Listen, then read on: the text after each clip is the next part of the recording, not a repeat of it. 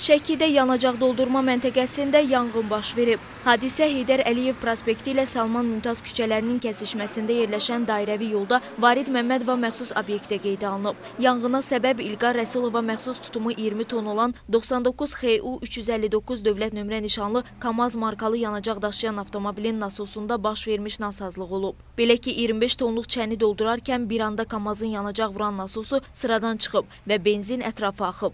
Nəticədə yanğın başlayıb olub. Hadisə yerinə dərhal Şəki yanğından mühafizə hissəsinin briqadaları cəlb edilib. Alov 25 tonluq çənlərə keçmədən söndürülüb. Xoşbəxtlikdən hadisə zamanı xəsarət alan olmayıb. Faktla bağlı araşdırma aparılır.